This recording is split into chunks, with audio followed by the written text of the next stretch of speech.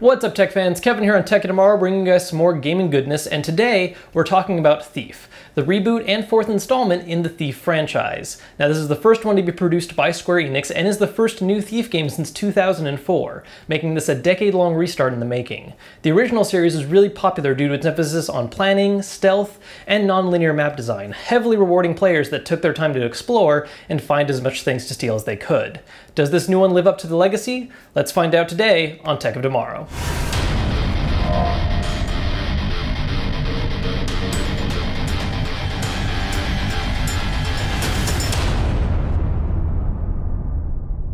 So to begin with, let's talk about how it looks and performs. For the most part, the game is really dark and dreary in tone, which makes a lot of sense considering, of course, you are a thief. And visually, for the most part, it looks really nice. You can tell there was a lot of really good concept art that went into detailing the city and some of the more richer areas that you'll explore. The game also makes use of a lot of different environmental special effects, including really good use of lighting, fires, mists, and rain, which makes the game really come to life, but at the same time also really hits your performance. Now the game does have a built-in benchmark utility that we didn't make use of, which features a lot of the weather effects and has a lot of people on the screen at once. Now in our system, which includes an MSI GTX 780 Twin Frozr Edition and an i7-4770K processor, we saw about 42 frames per second on average when running on 2560 by 1440, and 62 frames per second when running on 1920 by 1080.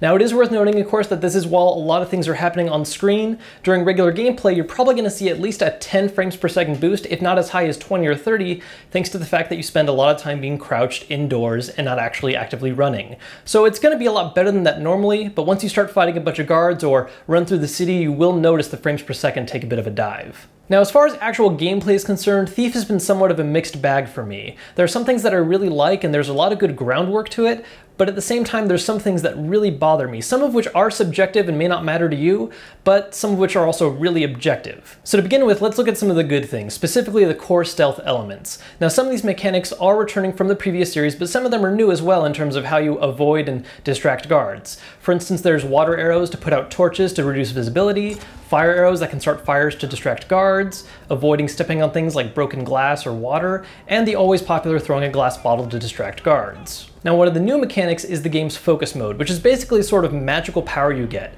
You can activate a special focus mode temporarily that slowly drains your MP and gives you a number of bonuses that you unlock over time. Initially, all it'll do is highlight things you can interact with, like hidden buttons or valuable things you can steal, but over time you can also unlock other abilities like increasing how fast you can pickpocket or making shadows cling to you while you're using stealth. Overall, this was actually a pretty fun addition in my opinion, and I really like what it does for the most part. There's just one aspect I have a bit of a problem with, and that's the fact that once your MP runs out, you can still tap the focus button to do a little blink, and it still highlights objects you can use, which makes finding hidden switches really easy in the game. It almost really defeats the purpose of hidden switches. You don't have to find documents or figure it out for yourself. You can just keep tapping the F button until everything's highlighted that you want to interact with. Now if you're like me and that does bother you a little bit, the game does have a really awesome customizable difficulty mode that helps to address this.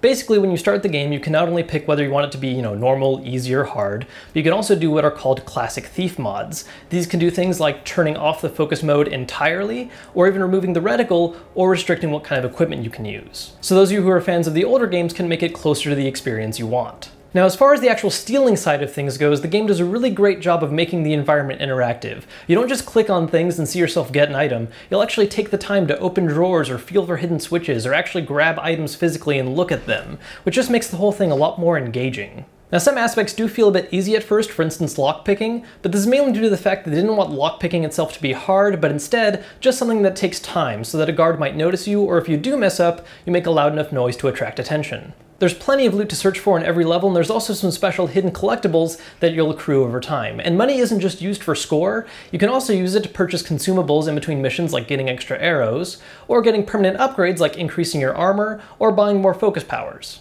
So when you're looking at just the core gameplay alone, there's a lot of good going on here and a lot of potential for a great game, but there's three things that really cause problems for me personally. Going from least troubling to most, there's its storyline, there's how linear it is, and most of all, the fact that enemy guards are about as intelligent as a sack of marbles. So to begin with, there's the story, which isn't terrible, but it's just not very good. Nothing about it is very memorable. There's a very heavy emphasis on the supernatural and not very much emphasizing the fact that you are a thief, the title of the game. Uh, you get wrapped up in all these crazy, epic fantasy things happening and just happen to steal everything you can along the way. Uh, it's not enough to ruin the game, but if you're the kind of person who looks for a good story in what he plays, this one's just not going to appeal to you very much. Now second up is just how linear it can be. Now the game is divided in two sections. There's the main hub city and then there's the chapters you play to progress the story.